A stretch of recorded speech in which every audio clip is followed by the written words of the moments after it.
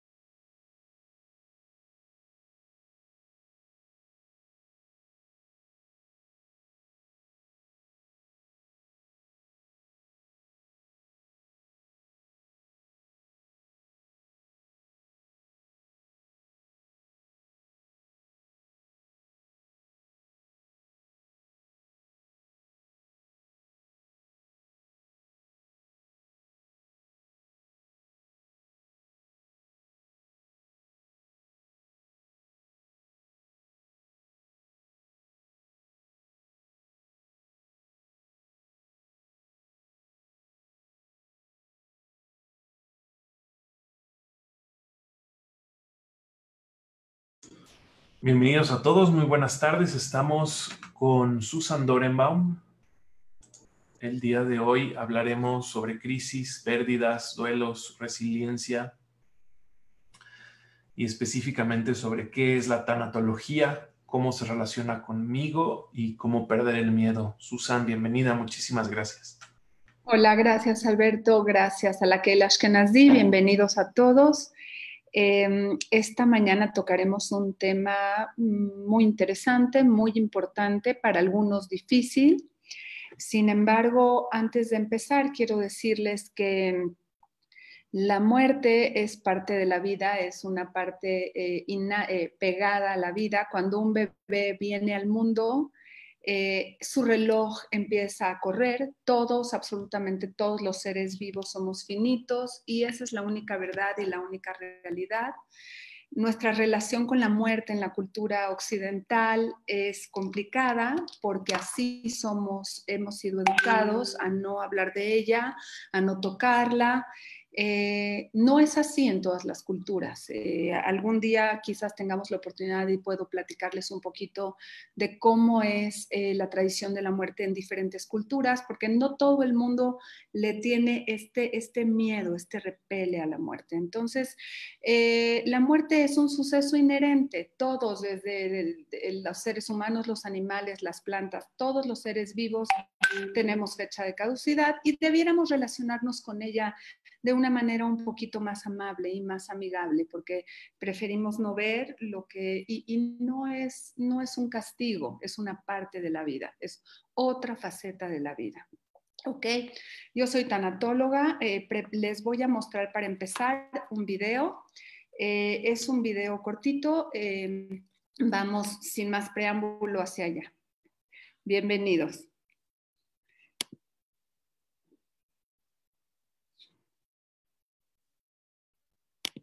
La gente muere y queda todo ahí.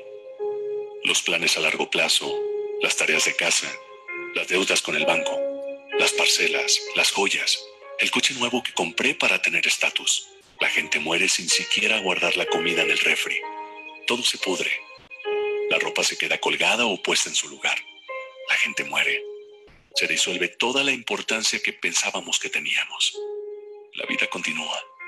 Las personas superan tu ausencia y siguen sus rutinas normalmente. La gente muere y todos los grandes problemas que creíamos que teníamos se transforman en un inmenso vacío. Los problemas viven dentro de nosotros. Las cosas tienen la energía que ponemos en ellas y ejercen en nosotros la influencia que permitimos. La gente muere y el mundo sigue siendo caótico, como si nuestra presencia o ausencia no hiciera la menor diferencia en realidad no lo hace. Somos pequeños, pero prepotentes. Vivimos olvidando que la muerte siempre está al acecho. La gente muere, pues así es. Un parpadeo y al otro ya estás muerto. El perro es donado y se aferra a los nuevos dueños. Los viudos se casan nuevamente, andan de la mano, van al cine, se divierten y te olvidan. La gente muere y somos rápidamente reemplazados en el puesto que ocupábamos en la empresa. Las cosas que ni siquiera usamos son donadas, algunas tiradas a la basura. Cuando menos esperamos, la gente muere. Por otra parte, ¿quién espera morir? Si la gente esperase por la muerte, tal vez procurara vivir mejor. Tal vez usara su mejor ropa hoy. Usara su mejor perfume. Viajará hoy. Tal vez la gente comience el postre antes del almuerzo. Tal vez la gente esperase menos de los demás. Si la gente esperase por la muerte, tal vez perdonaría más, reiría más, apreciaría la naturaleza, tal vez valoraría más el tiempo y menos el dinero.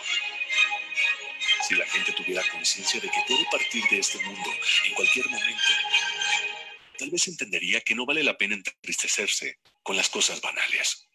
Oyese más música y bailase aún cuando no lo sepa hacer el tiempo vuela. A partir del momento en que la gente nace, comienza el viaje veloz con destino al fin.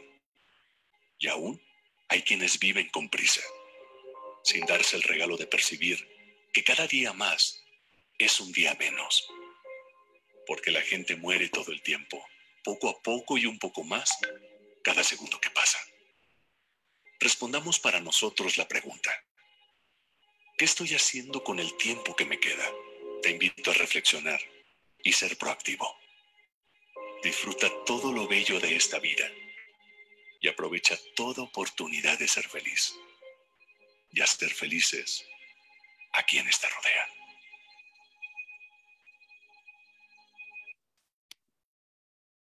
Ok, hermoso y fuerte video. Eh, puse mucha información escrita, pero me voy a ir muy, muy rápido. ¿Qué es la tanatología? Esa palabra que suena tan fuerte. La tanatología en el diccionario viene de tanatos, muerte, y logos, tratado. Es el tratado de la muerte. Es una disciplina integral que aborda todos los aspectos relacionados a las pérdidas, a todas las pérdidas y a la muerte misma. Reúne un conjunto de herramientas que podrían ayudar a pasar por esta difícil etapa a superar la tristeza, el dolor por alguna pérdida antes, durante y posterior al suceso resultante de un duelo. Quiere decir, un tanatólogo trabaja durante todo el proceso cuando hay un proceso de muerte largo o de enfermedad o de crisis. El objetivo es facilitar el tránsito entre la persona, la familia y los médicos, asegurando y cuidando, escuchando con dignidad y, y con dignidad, escuchando sobre todo a la persona involucrada. Es en realidad un acompañamiento y es una contención que puede ser en cualquier área en que una persona requiera, no nada más en un proceso de muerte, en el área emocional, física o espiritual la tanatología, las pérdidas se dan en muchas áreas. Eh, un tanatólogo, me voy a ir un poco rápido porque ahí puse mucha información y si tienen alguna pregunta, eh, anótenla para, y después vamos a abrir eh, a preguntas, ¿ok? Un tanatólogo ayuda al paciente y a sus familiares a pasar por el proceso y a superar el dolor causado por alguna pérdida de cualquier índole. Trabaja de manera multidisciplinaria y debe ser en realidad un apoyo, una mano amiga que resuelva, resuelva y acompañe en momentos de confusión. Ojo, no se puede ayudar a nadie que no quiera recibir la ayuda. Este es un dato importante porque la tanatología es una rama muy nueva de la medicina. Eh, Ahora eh, la creó eh, la doctora Elizabeth Kobler-Ross, que recién apenas murió en 2004. Ella era psiquiatra, era judía, y inventó, ella fue la que hizo la tanatología como una rama independiente de la medicina, como tenemos que hablar sobre la muerte, qué es lo que pasa en las pérdidas, ¿no? Ella fue quien hizo eso, pero nadie en ninguna área de la vida puede recibir ningún apoyo si no lo recibe. Y eso es muy importante de entender. Los duelos. ¿Qué es un, qué es un duelo y qué es una pérdida? ¿Ok? El duelo es un proceso natural por el que atraviesa una persona ante alguna pérdida significativa. Las pérdidas no siempre son necesariamente por la muerte.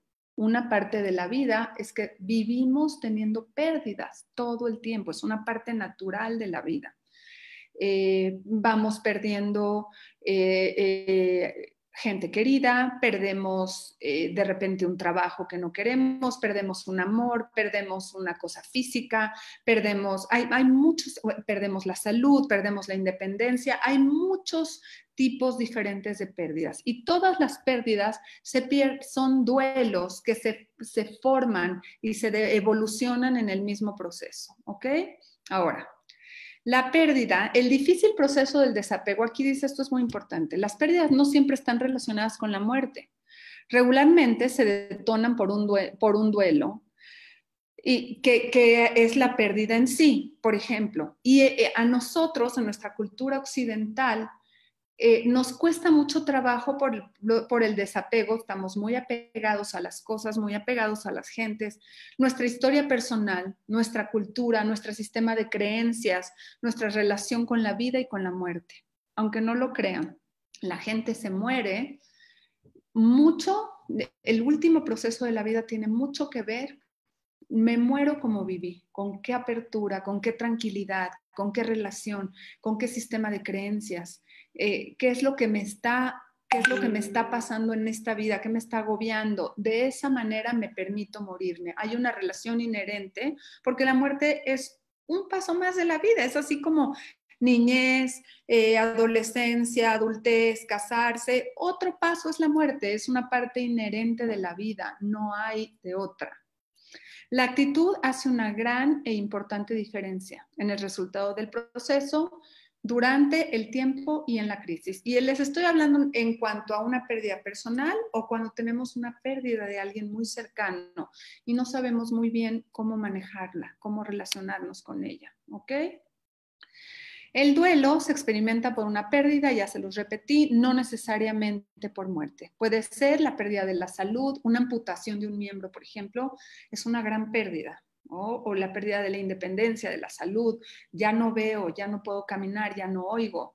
Un cambio de casa, alguien que ha vivido muchos años en una casa y de repente eh, ya no tiene esa casa, un divorcio, la muerte hasta de una mascota es una gran pérdida, un cambio en la economía, eh, eh, la, independencia, la soledad, por ejemplo, la vejez es una gran pérdida porque conlleva pérdida en la independencia, en la salud, en la economía, eh, la soledad, un proceso de infertilidad es una pérdida, el cambio del trabajo, el nido vacío. Les estoy poniendo así como algunas cosas por las cuales pacientes accesan, ¿ok? Les comentaba yo de Elizabeth Kobler-Ross. Elizabeth Kobler-Ross, esta brillante mujer suiza, sueco-alemana, judía, eh, que le tocó durante la Segunda Guerra Mundial estudiar psiquiatría. Ella tiene libros increíbles. Ella fue la que hizo este eslabón eh, y esta clasificación acerca de las etapas del duelo y cómo relacionarse con la muerte. Ella tiene un bagaje increíble de libros. Tiene eh, la muerte de un hermano, la muerte de un hijo, la muerte de un cónyuge, la pérdida de la salud. Tiene como mucho, mucho, tiene, así es, dedicó toda su vida, hasta sus últimos años, a escribir sobre este tema. Y, y, su último libro se llama La Rueda de la Vida, que yo se los recomiendo. Es un libro hermosísimo y es como un compendio de todos sus libros.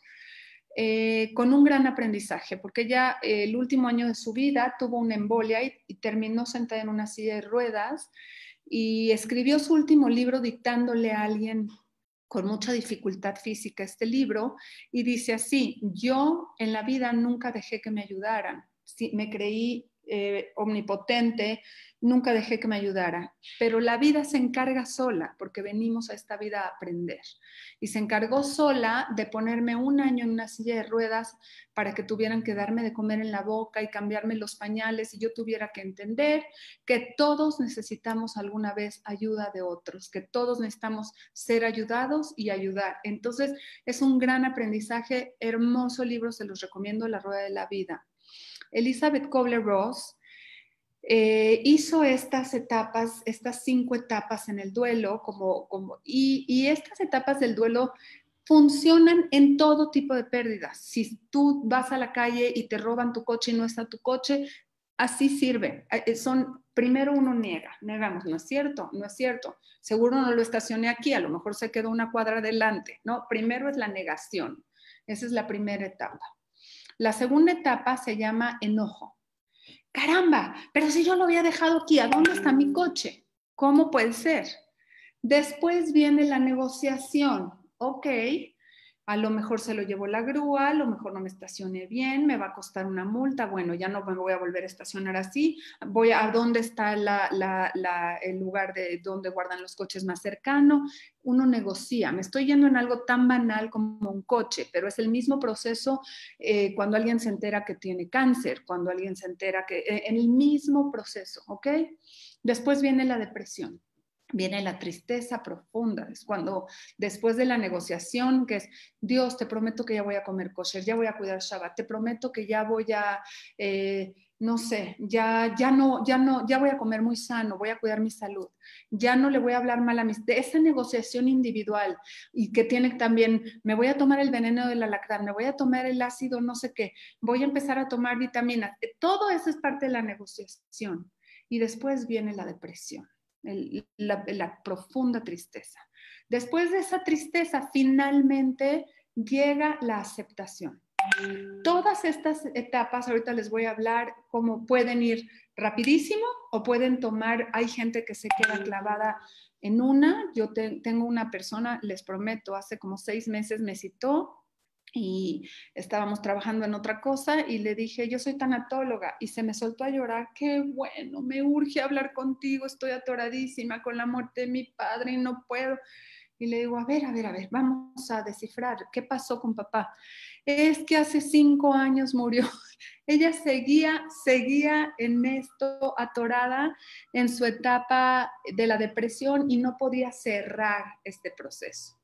Entonces, hay que pasar por estas cinco etapas, hay quien pasa muy pronto por ellas, hay quien toma más tiempo, pero lo importante es sí pasar por el proceso completo para hacer un cierre. Hacer un cierre es muy importante, ¿ok? El duelo varía en tiempo y magnitud, es lo que les estaba diciendo. Eh, puede tardar eh, eh, un tiempo diferente, puede transcurrir en un tiempo indeterminado. Pero según Elizabeth Kobler-Ross, un duelo sano debe volverse más fácil, debe volverse máximo tras un año después del fallecimiento de la persona, un año.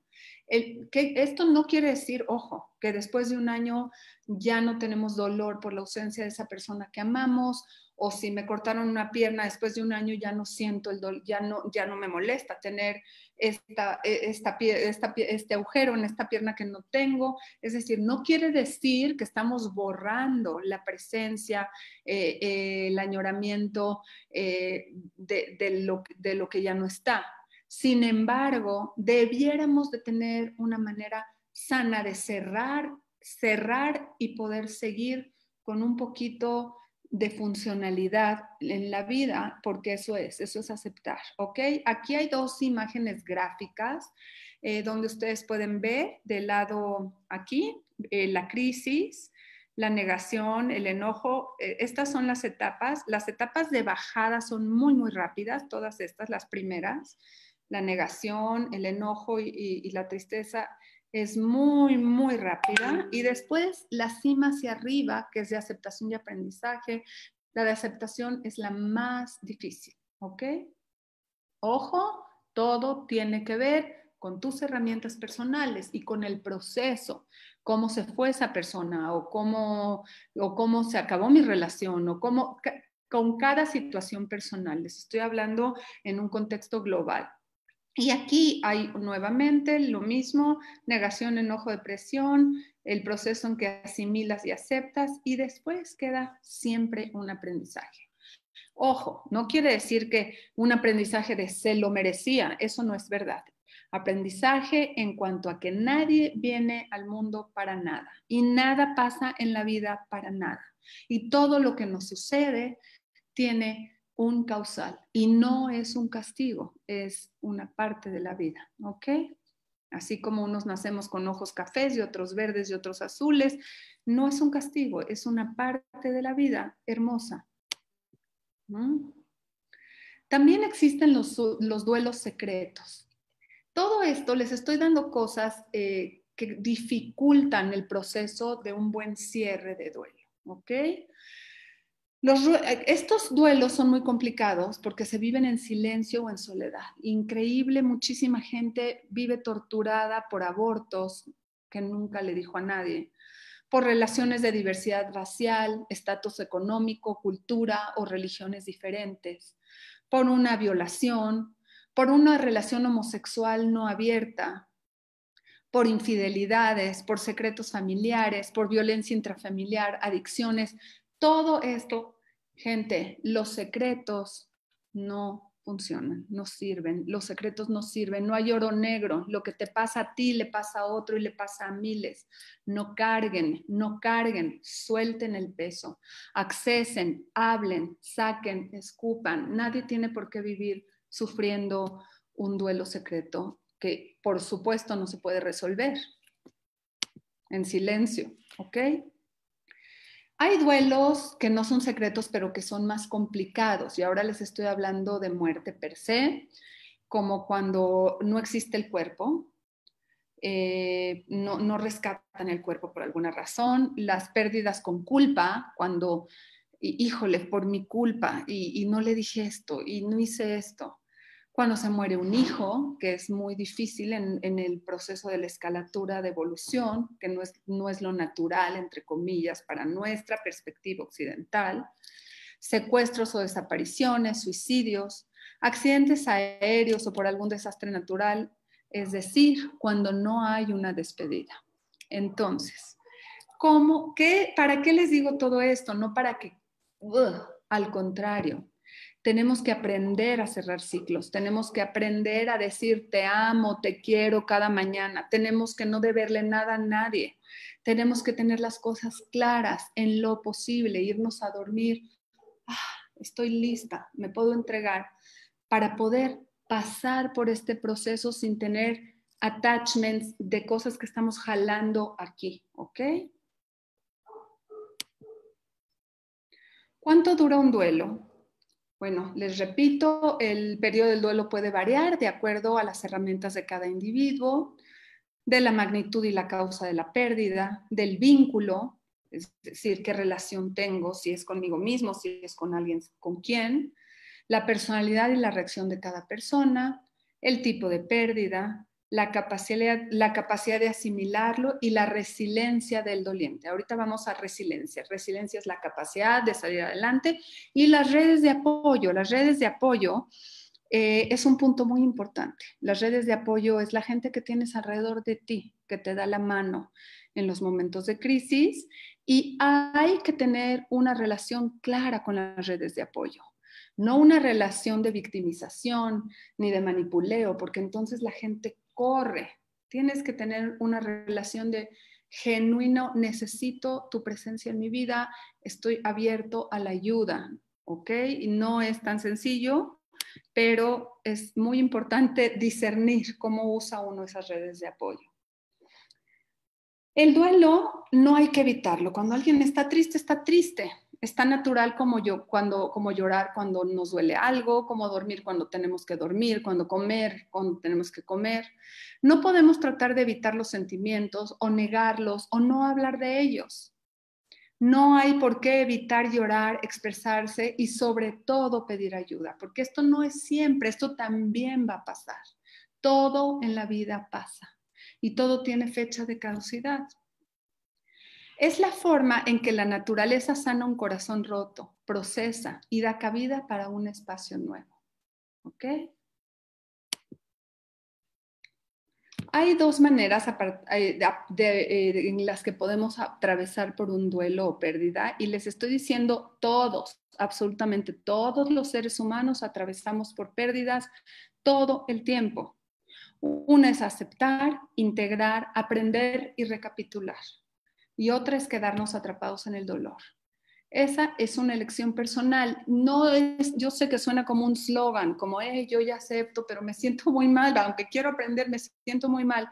No estoy diciéndolo, a, no lo estoy tomando a la liviana, les estoy diciendo que elijan, elijan por pasar por este proceso de la manera más suave y más rápida y más tranquila y más porque de todas maneras no, hay, no se puede evitar. La pérdida ya fue o ya es y tenemos que pasar a través de ella retomando, recordando la parte llena, la parte linda, la en gratitud por lo que sí fue, por lo que sí hubo, por lo que sí nos dio esa persona, esa casa hermosa, ese perrito, e, esa, esa que es hoy la causa de, que yo tenga el corazón roto. Es una elección personal.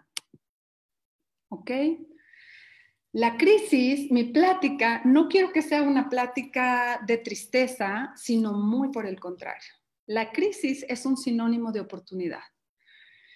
Una crisis es un conjunto de cambios en cualquier situación que es en una realidad organizada, cuando tenemos todo estructurado, cuando creemos que todo es de una manera y de, y de repente se mueve y se cae y se voltea. Esa caída es potencial puro de evolución, involución y cambio. ¿ok? Estamos muchas veces en algo y creemos, es que nunca voy a vivir contenta en otra casa porque la que yo tenía era divina. Es que nunca voy a encontrar el amor porque mi esposo, que fue mi pareja 40 años, fue el amor de mi vida. No voy a poder otra vez. Es que nunca voy a poder funcionar sin un brazo. Es que, pam, pam, pam. No, no, no. Aunque no lo crean, los seres humanos somos resilientes y las crisis son potencial puro de evolución. Revisa tus duelos, Identifica en qué etapa del duelo estás. ¿Ya lo resolviste? ¿Cómo lo resolviste? ¿Qué te falta por hacer? Y muévete, adelante, adelante. Ahora, esto se los puse, eh, qué decir y qué no decir.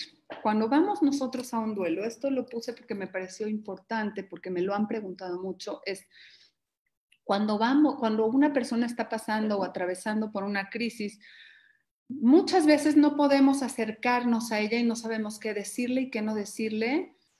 Y muchas veces, no muchas, siempre, ese no poder acercarse tiene que ver con nuestras crisis no resueltas, con nuestro espejo, con el miedo que me resulta a mí confrontarme con una parte que, que, también soy y que también soy vulnerable y que también me pasa. Entonces, por supuesto, cuando quieres, cuando eh, ves a alguien que está pasando por un duelo, una pérdida, es prudente decirle, si no sabes qué decir, no sé qué decirte, pero estoy aquí para ti. Eh, ¿En qué te puedo ayudar? Estoy, ¿Quieres decirme algo? ¿Te gustaría compartirme lo que estás sintiendo? Está bien que te sientas así.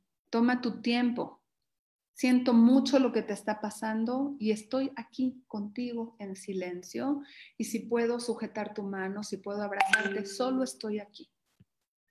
Lo que no podemos decir y no debemos decir, aunque tratamos de hacerlo por buena por buena voluntad, pero no necesariamente sale bien, es ya está descansando en paz. Eso se usa mucho, ya está descansando en paz. Ya estaba muy viejito o muy enfermo, ¿entienden? Hay gente que puede lidiar con eso, hay gente que dice, bueno, y eh, aunque estaba muy viejito, es, eh, eh, es mi padre, o sea, ¿no? Échale ganas, no llores. Compras otro perrito o tendrás otro hijo tienes que ser fuerte. Yo creo que hay que ser muy cuidadoso y muy prudente en este sentido. ¿Cómo acompañar a alguien? Creo que esta iba antes de la anterior. Solamente sujétale la mano, velo a los ojos y dile, aquí estoy. La cabeza fría y empatía, ¿qué puse aquí? No permitas que los miedos se apoderen de tu mente. Muchas veces la loca de la casa que es esta, estamos en la noche sin dormir imaginándonos cosas. El 98% de lo que nos imaginamos no sucede. Identifica y reconoce con nombre y apellido qué es lo que te da miedo. Es la única manera, lo tienes que tener aquí enfrente. Saber con claridad es natural tener miedo ante una situación nueva, desconocido, sorpresiva. Tómalo, identifícalo, intégralo y suéltalo. La única manera de poder soltar es como el niño que cree que hay un monstruo en el closet y que le dice, ma, es que vino el monstruo, es que el monstruo está en el closet. A ver, ¿cómo es ese monstruo? ¿Cómo se llama ese monstruo? ¿Dónde está ese monstruo? Vamos a abrir el closet, vamos a verlo, vamos a tenerlo en la mano para poder soltarlo, porque seguramente está creado aquí. Recuerda que nada es para siempre y esa sensación va a pasar. Nadie nos sentimos todo el tiempo de nuestra vida en este proceso terrenal que nos toque vivir aquí Nadie vive eternamente enganchado del dolor, de la tristeza, de lo que se está sintiendo. Aunque el agujero esté, se va transformando. Y eso no quiere decir dejar de dignificar esa presencia de esa persona que estuvo en mi, vida, que amé, que honro, que agradezco, pero que ya no está, porque no depende de mí o, esa casa bellísima, o esa pareja, o ese perrito, o, mi salud cuando yo podía correr y ahora ya no puedo. No es dejar de dignificar y de honrar la situación, simplemente eh, tengo que soltarla. Ya esa sensación también va a pasar, aunque me acuerde con amor de eso las cosas cambian. El miedo es una resistencia que te frena y te paraliza. El miedo nos frena en la vida y no nos permite seguir. La empatía es la capacidad de identificarnos con lo que otra persona está sintiendo. Ser empático es muy, muy importante y, ser empático desde su punto de vista y no desde el mío, y desde su juicio de valores y no desde el mío. ¿Entienden? Esa es real empatía. Ok. Uf, anoté mucha información. Conciencia y resiliencia. La resiliencia es la capacidad de transformar la oscuridad en luz. Es buscar una oportunidad en la crisis y es resignificar, es darle un nuevo significado a tu vida, con lo que hay, con lo que queda, a partir de ahí, ¿ok? Se deshizo, es como se, se cayó, tengo que empezar a amasar de ahí es buscar el para qué y no insistir en el por qué, porque muchas cosas en la vida así son porque son. Es fluir con lo que hay y es rendirse, es tener fe. Es entender que somos mucho más que solo un personaje. Es decir, yo soy Susan, soy tanatóloga, hago viajes, soy terapeuta, pampa, soy la mamá de, soy la esposa de, soy la que trabaja en donde, soy. Todo ese es el personaje que yo juego en esta vida. Pero soy mucho más que eso. Si yo quito todo eso y, me quedo con mi alma, esa es la que realmente soy. Todo lo que yo hago es lo que he escogido con mi personaje de ser, pero no es mi esencia. ¿Ok?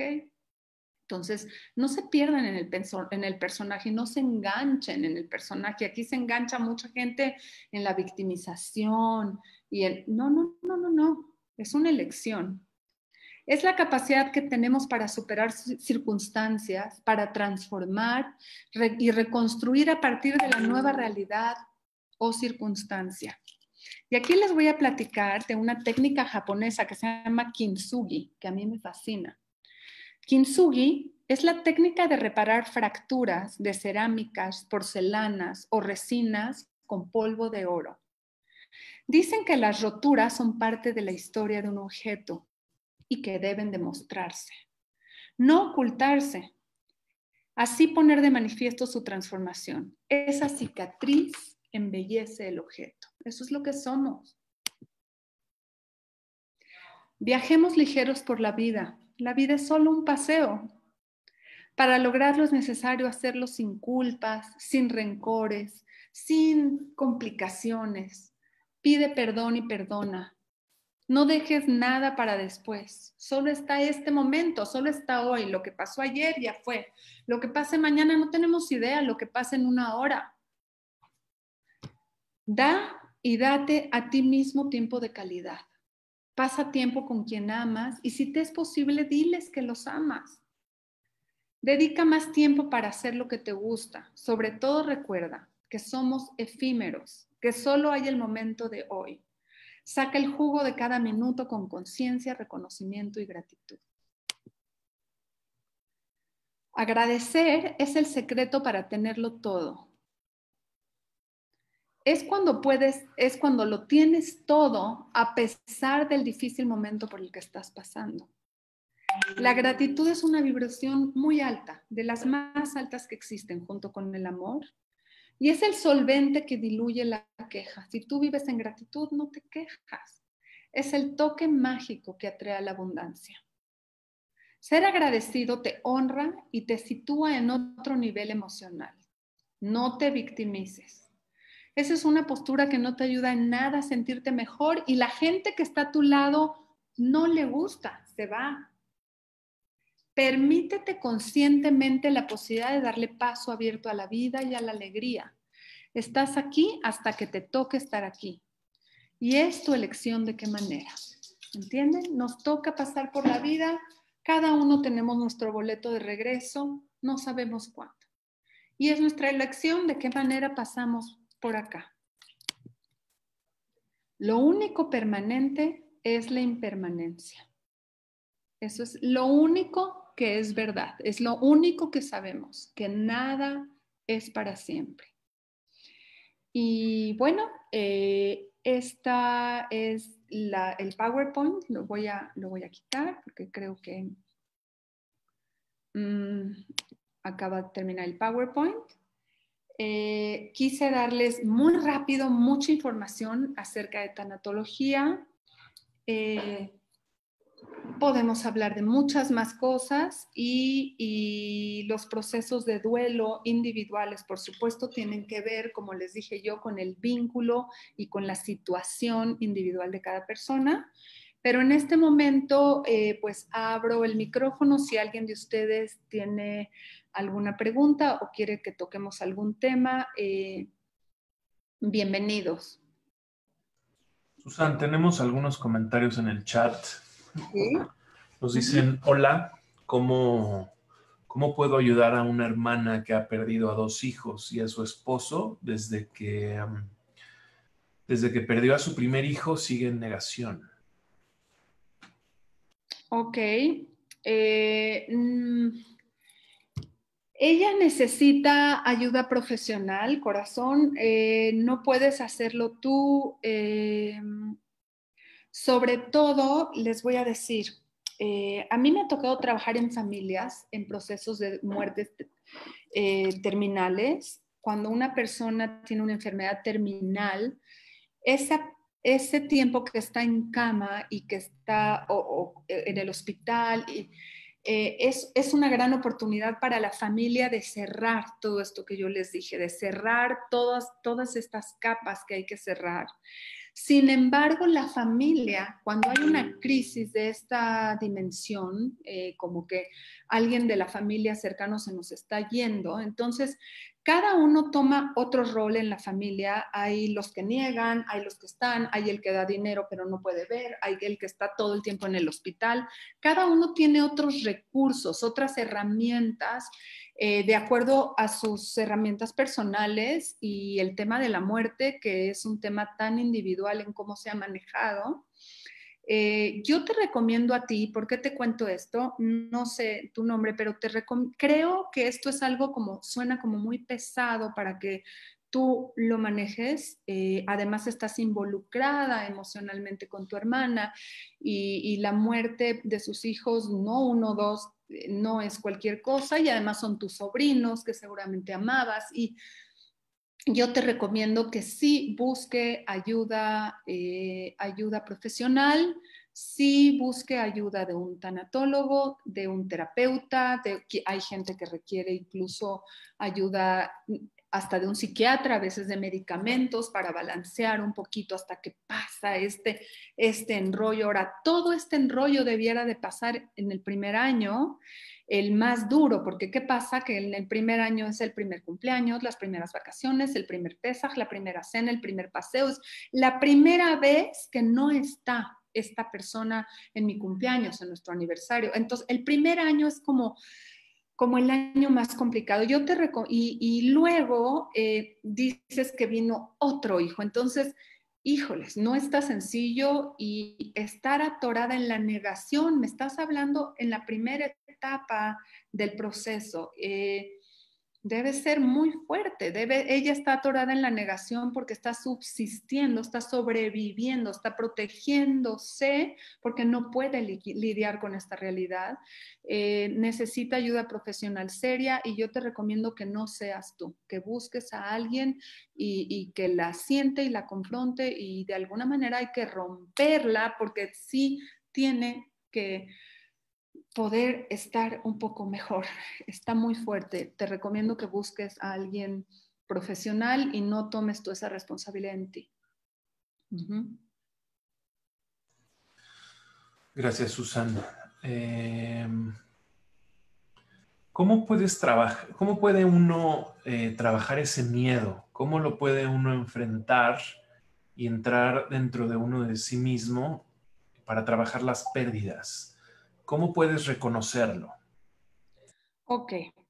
Eh, no entiendo eh, si la pregunta es el miedo a la muerte. Eh, primero, el miedo hay que desglosar, hay que entender qué es el miedo, qué es, hay que desmenuzarlo en pedacitos, qué es lo que me está dando miedo. hay que entender que todo se genera aquí, acá arriba, acá tenemos el cielo y el infierno en la cabeza, ¿ok? Eh, y la gran mayoría de las cosas que estamos temiendo que van a suceder no suceden. Y ya fuimos de ida y de vuelta y dejamos de dormir y nos quita la calma.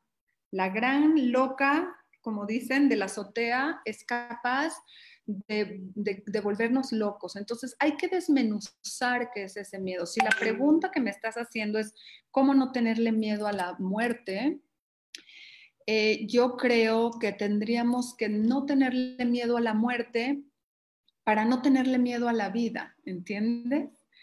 Eh, cuando somos chiquitos, eh, nuestra cultura, a pesar de que yo les digo, el judaísmo tiene un aspecto con la muerte muy hermoso, el ritual de la muerte del judaísmo, la teará, eh, eh, el lavado del cuerpo, eh, las siete veces, derecha, izquierda, y luego como las siete etapas del alma, que luego podemos hacer otra clase, yo les puedo platicar un poquito de qué pasa dentro de la Tara y cuáles son las siete etapas, cómo se separa el alma del cuerpo, eh, y, la, y, Shiva, y luego los Shloshim, y todo es muy hermosa.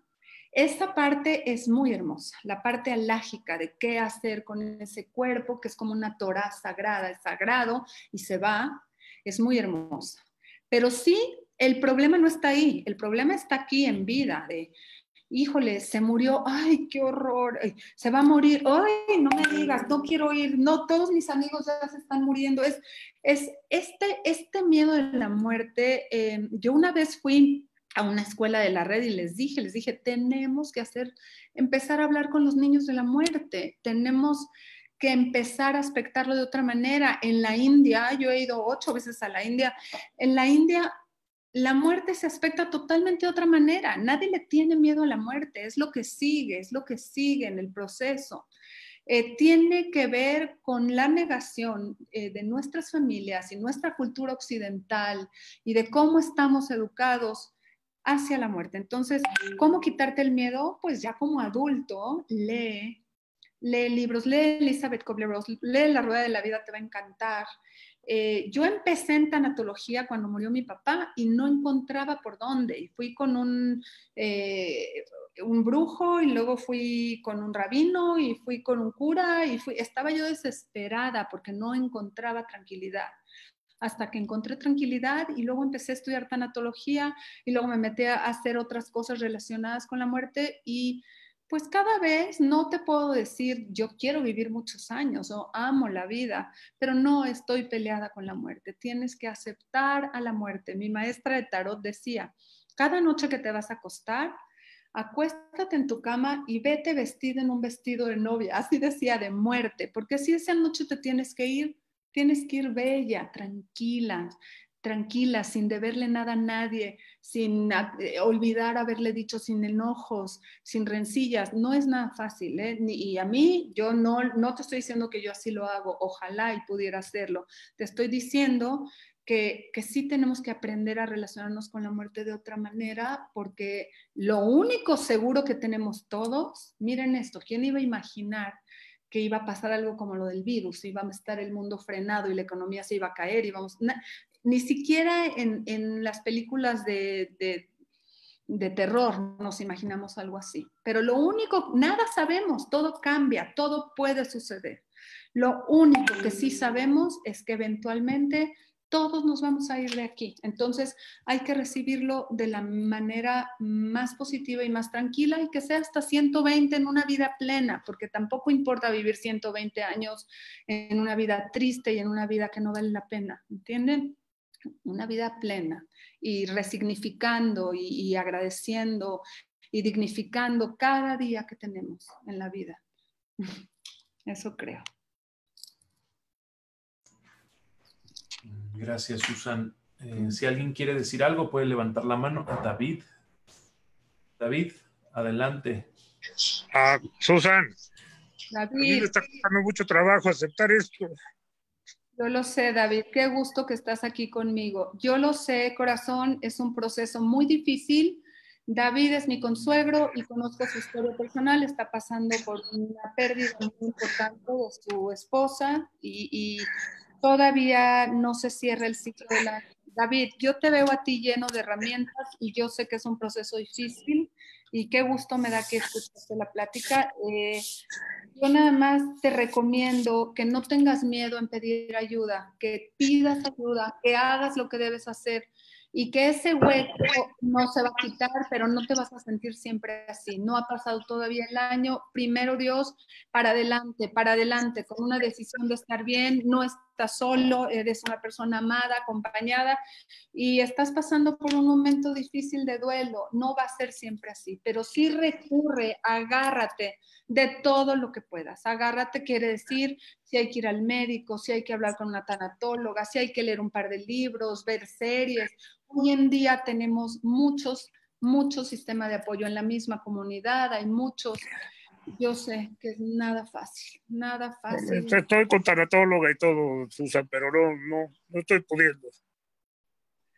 Estoy segura, David, que no te vas a sentir igual y, y vamos a platicarlo tú y yo. Este, estoy a tus órdenes y, Gracias, Susana. nada más pide ayuda y haz las cosas para la luz, todo lo que puedas para darte fuerza, para estar mejor. Y, y, y sí, estás pasando un momento muy, muy difícil. Que cada día es más, cada día es más fuerte, cada día pasa, es más duro. Acuérdate de, sí, sí, sí. Pero lo importante es que esto también de una u otra manera tiene que pasar. Y, Gracias, Susan. Platicamos después. Platicamos. Te mando un abrazo fuerte. Igualmente, Susan. Y qué bonito, ver qué bonita clase. Gracias. Qué bueno que la pudiste escuchar. Te mando Gracias, Susan. Uf, así es. Cada quien carga su, su costal de arena en la espalda y saben que yo fui, fui a la Irish hace unos meses a dar una plática de tanatología en secundaria y, hicimos un ejercicio con un costal, lo llenamos de piedras y subí a los niños a la tarima a cargar el costal y luego les dije, ok, ahora cada quien va a agarrar una piedra o dos y vamos a soltar el peso, vamos a agarrarnos de la gente que amamos, vamos a ir soltando el peso. Y, eso hicimos, fuimos soltando las piedritas porque no es lo mismo cargar el mundo solo, ¿no? Cargar ese costal pesado. Eh, den un poquito de ese peso alrededor. no traten de cargar el peso solos, nadie está solo. Y hay un dicho que a mí me gusta mucho, es hay gente que no le gusta, pero ni nadie es para tanto, ni nadie es para tan poco. ¿Entienden? Todos eh, cargamos nuestro pequeño costal y tampoco estamos solos, nadie está solo y todo pasa y no es tan sencillo. Hay gente que está viviendo momentos difíciles, muy difíciles. Este, pero bueno, adelante, espero que algo, algo les haya movido, que algo les haya dejado pensando Acuérdense de la técnica esta kintsugi, de reparar las fracturas con oro. Es muy hermosa y, es actual y lo hacen. Y eh, cuando tú pones oro en una herida, este, se manifiesta, se transforma, pero esa cicatriz embellece el objeto, porque somos todas esas piezas rotas que nos conforman también. Que tengan una semana hermosa y Muchísimas gracias. Claro, les doy mi teléfono, eh, lo anoto en el chat. ¿Está bien, Albert? ¿Lo puedo anotar en el chat? Sí, claro. Eh, y con muchísimo gusto. Si alguien necesita de una terapia, doy terapias ahora en Zoom.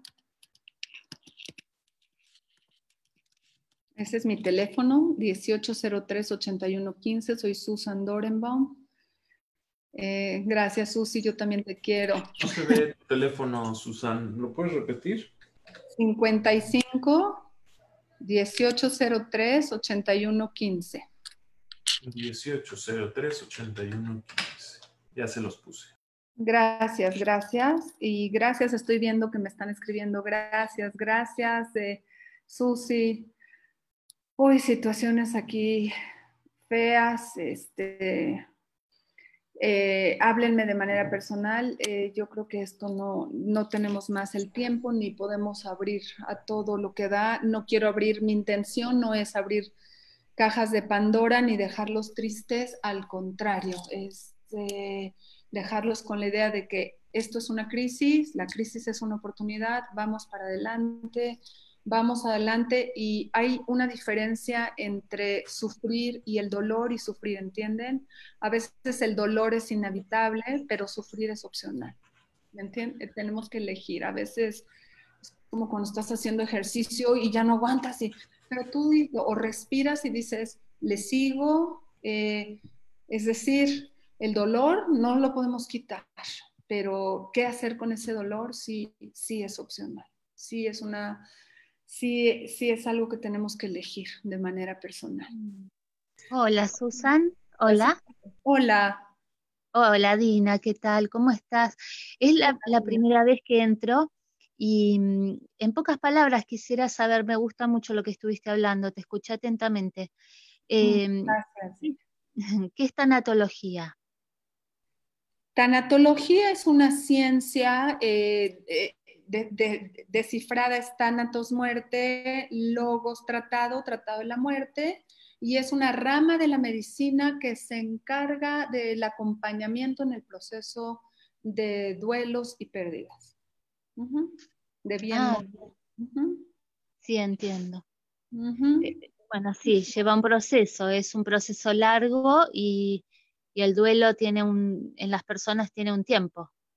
Claro, claro, todo lo comenté. De todas maneras, creo que esta presentación se queda en el Facebook de la Keila y ahí ah. está todo el PowerPoint eh, y cualquier duda.